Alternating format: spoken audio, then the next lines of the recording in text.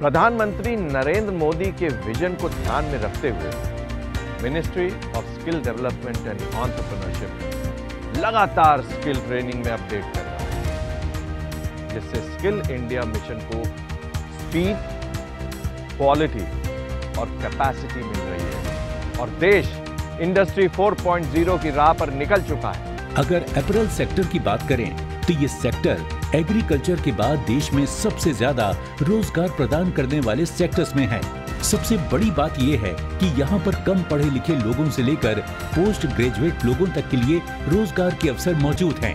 April sector में कौशल प्रशिक्षण देने के लिए apparel made ups and home furnishing sector skill council लगातार प्रयास कर रही है। देखिए हर शनिवार सुबह नौ बजे आपकी बात दीपराज राणा के साथ। सिर्फ़ दूरदर्शन पर। इस कार्यक्रम के प्रायोजक हैं कौशल भारत, कुशल भारत और सह प्रायोजक हैं apparel made ups and home furnishing sector skill council.